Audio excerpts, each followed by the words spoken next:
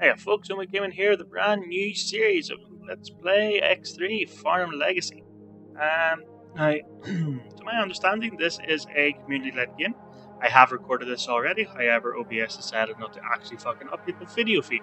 So, it's just a loading screen the entire time, so I get to start a new game again all over. So, um, I will probably reference things I can already see. Uh, having said that, um, the audio should be better than what I had started with because, you know, voice with uh, NPCs was being drowned out by the music. I will double check the settings.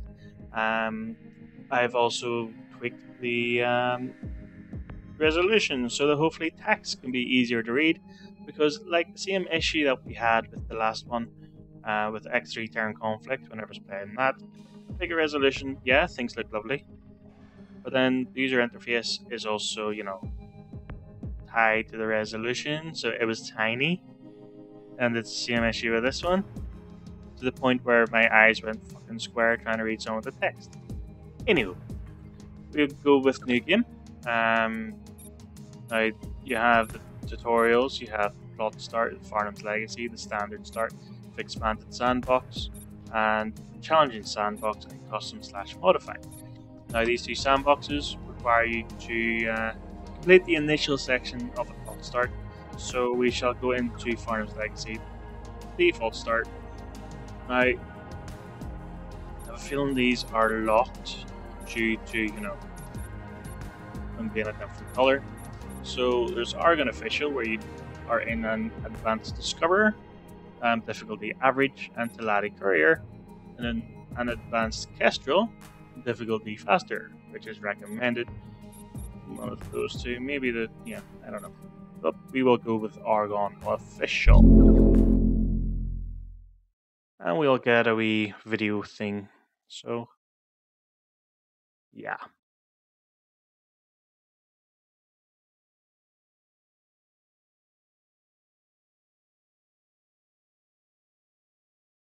We are minutes away from this historic moment when the USC Winter Blossom starts its voyage into the unknown.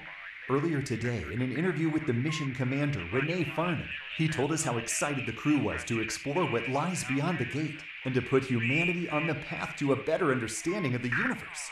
The prospects of encountering aliens are high, said Dr. Elaine Sutton, one of the biology specialists on board. She claims that it will make us rethink our place in the cosmos we know that our gate's connected to others, built by an alien civilization. But who are they? What are they like? Do we want to meet them? Find out here after the break. This is Julian Cahan reporting live for USC News.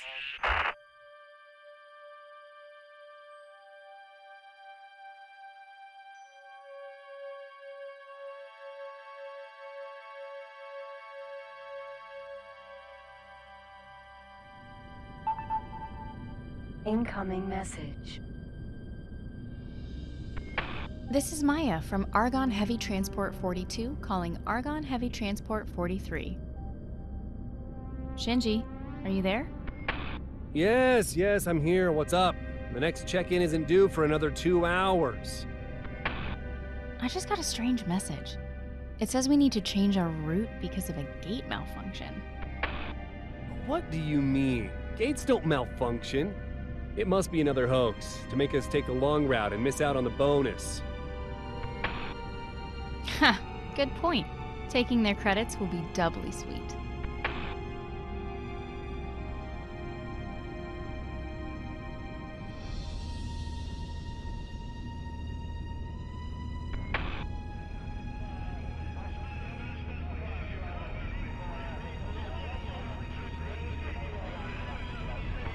Maya, are you seeing this? The gate.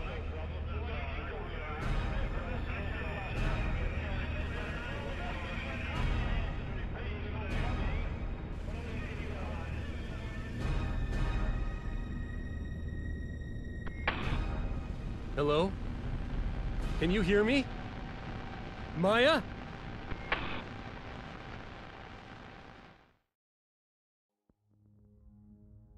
Warning. Jump drive failed. Entering system. Unknown sector. Alert. Ship systems malfunctioning. System check. Autopilot damaged. Conventional engine working. Weapon systems working. Shields working. Duplex scanner not working. Jump drive destroyed. Data storage device broken. Remote connection lost. Okay. So, um. Yes, asteroids. Uh, yeah. Um, like, there are controls for the Xbox 360. I do have one up. However, I will be playing. Transorbital accelerator. The Void. Zeta. Oh, that's um, audio. Yeah, so that that stuff's okay. Um, yeah, that's good too as well. We are Please! Urgent assistance required. mosquito missile. Missiles, eh? Ship debris.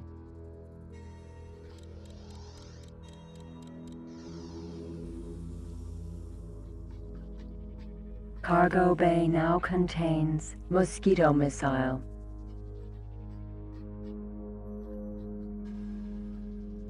Cargo bay now contains energy cells.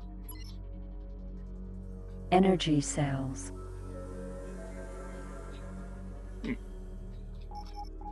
Um, storage. Triplex scanner. Really? Triplex scanner just sitting here?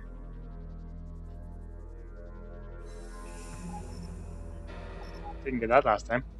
Um, Cargo bay now contains triplex scanner. Nikono Fune. right. Um,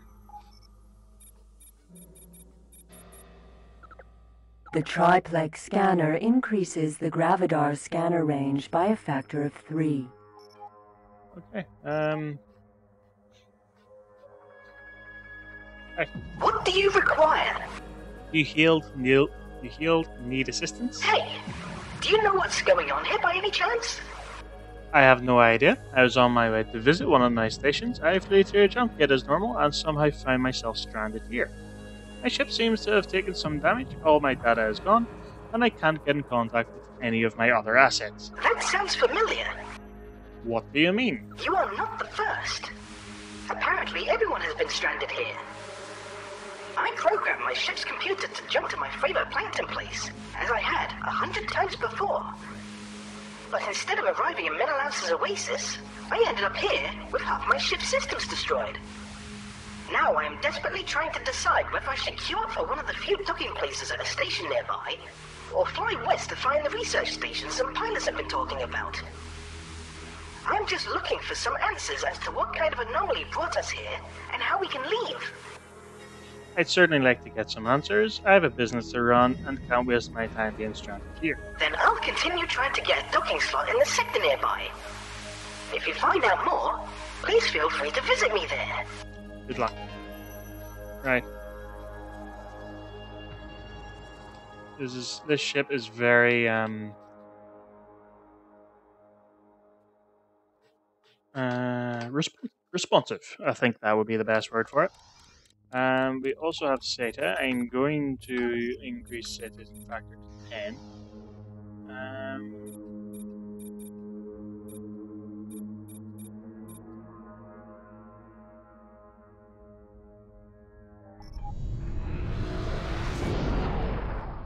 Entering the void. Zeta.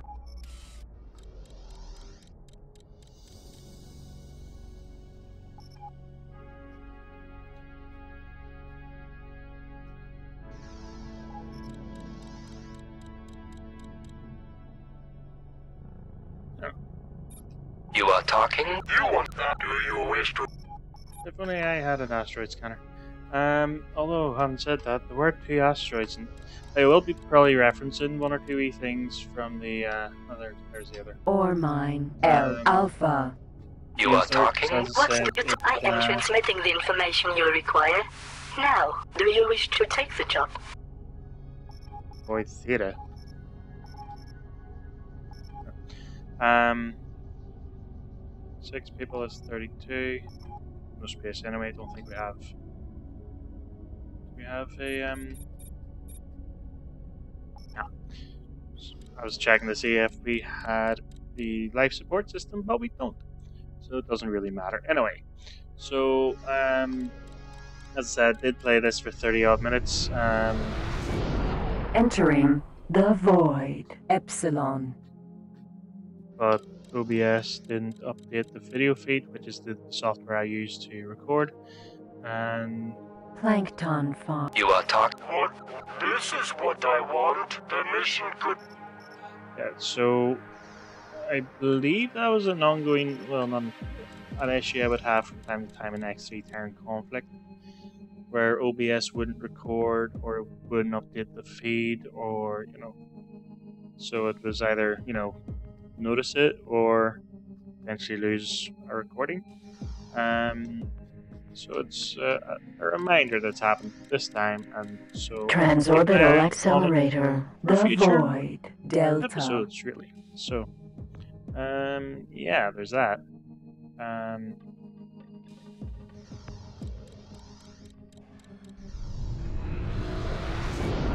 Entering the void. Delta. This is not going to be a Dead is Dead, by the way. Royal Boron Research Station. Um, Terran Conflict gameplays. Um, because it's you know just to experience what's going on, what's happening, and whatnot.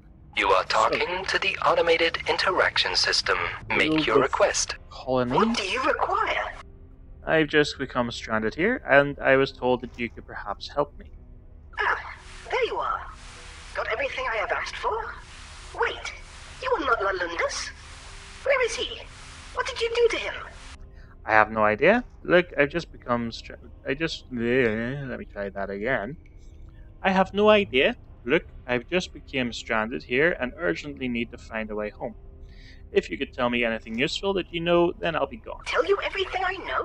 Nope, just what's I just told Lalundus everything I know, and he did not return with the wares I requested.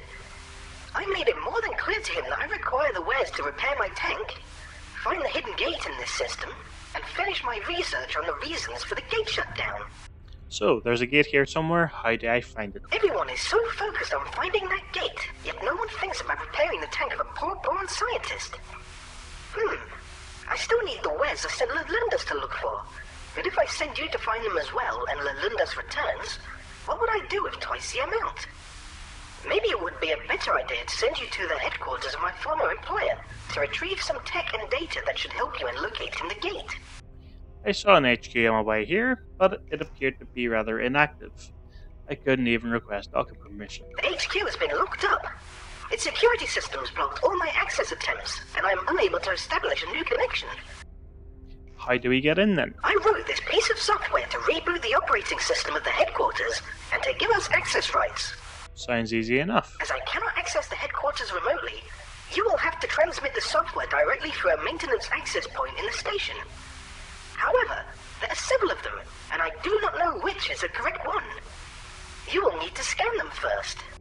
Exactly how many are a few? Wait, I don't want to know the answer to that. Well, firstly, he didn't say a few, he said several. Third, thirdly, secondly, a few is three. So, One last thing. By accessing the headquarters in this way, the operating system will expect an actual maintenance task to be carried out. If this does not happen within three minutes of the first maintenance point being accessed, the system will activate its security measures and shut down. If that happens, you will need to get out of there immediately. find the correct access point, transmit the data, and don't get shot by the HQ's defenses. All in three minutes. Got it. So, um, it's easy enough. It, it sounds like it's tricky. I, I did this about half an hour ago. It, like I said, it's easy enough. Incoming message. This this hurt my brain like something shocking last time because of the thing. Um.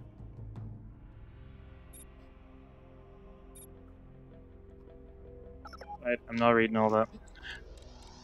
I'm sure it's interesting, but um, yeah. Entering the void. Epsilon. There's. Yeah. I hope they introduce something with regards to the user interface. Um,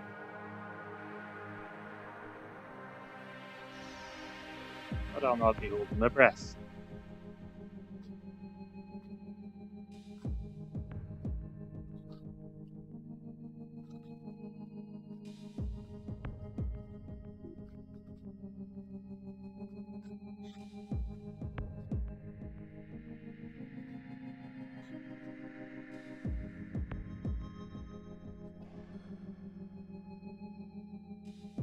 Scanning.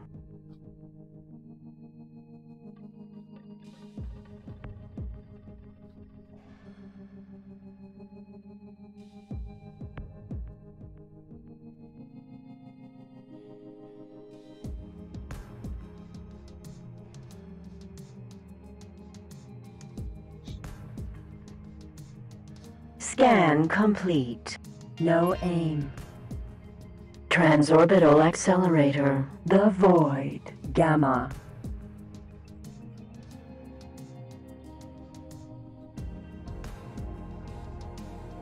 Scanning.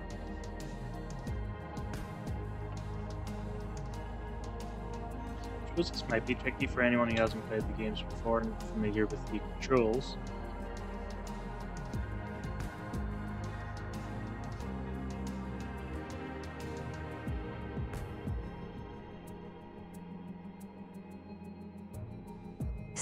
Scan complete.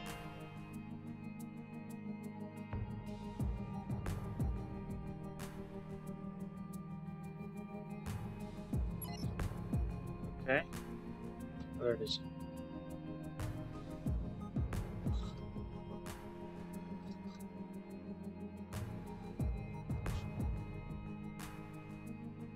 I'm getting a little bit dizzy.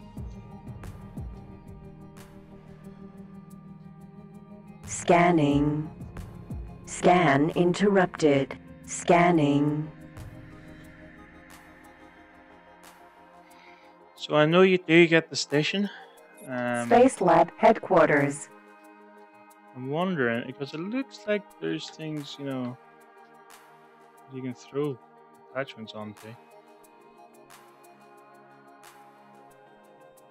Scan complete.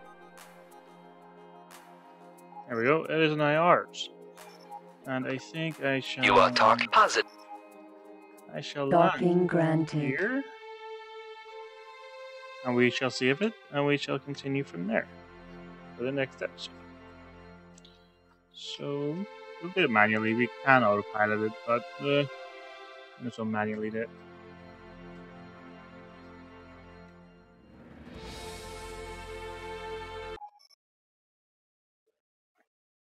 Successfully docked. Welcome back on board. Connection to local trading network established. Okay. Um, I had some energy cells in my ship. Energy cells transferred. There we go. So, um, yeah, bits and bobs, and there, there's aspects of the game. So you have um, my missions part of the normal. I am going from a Terran conflict perspective. Didn't really play any Albion Prelude, but my missions is normal. My property, normal pilot status, my wings. That's you know if you're having several ships and they, you know, move about together. There's diplomacy. Um, so you gather influence, assign an agent to a station to gather influence. Recall agent, call him back. Um, acquire equipment. Um, acquire special ships. Acquire station blueprints. Um, bonus notoriety gain. Increase race notoriety. Negotiate discount hack a station, launch attack, sabotage factory, steal equipment, and steal station blueprint. Um, so we have a 15% bonus to Argon rep- reputation, presumably. Um, 35% bonus to Boron. and 10% bonus to Teladi. Um, and then as I'm going down, you have Stock Exchange, which I think is part of Albion Prelude. I'm very sure that had stock exchanges, uh, message log, my achievements, which you would have got one and gain access to the Space Lab headquarters. Um, and there's a good number of uh, achievements with the game.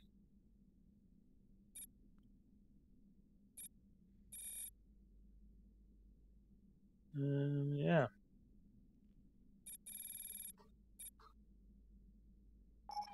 Right. Um. So achievements, encyclopedia, empire management, your net worth, graphs, destroyed ships, empire trade report, um,